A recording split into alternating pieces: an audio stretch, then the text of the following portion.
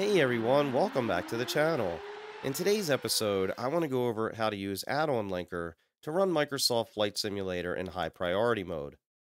Now if you're unfamiliar with the Add-on Linker application, I've done a full tutorial video on this. I will post that down below in the description. Now the reason that we want to run Microsoft Flight Simulator in high priority mode is to help eliminate or reduce the amount of stutters that you will experience in the sim. If you are someone who doesn't use the add-on linker application, I will also post a video down below in the description on how to run Microsoft Flight Simulator in high priority mode without using add-on linker. So the first thing we need to do is to open up the add-on linker application. We're going to go up to the top left to where the settings cog is. You will go all the way down to where it says force high priority, make sure the box is checked, and then go down and hit the OK button.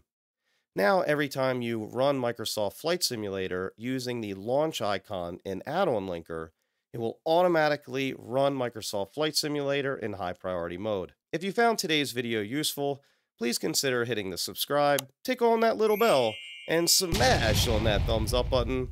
To all my Flight Simmer friends around the world, keep the blue side up, and we will see you on the next one. Thanks for watching, everybody.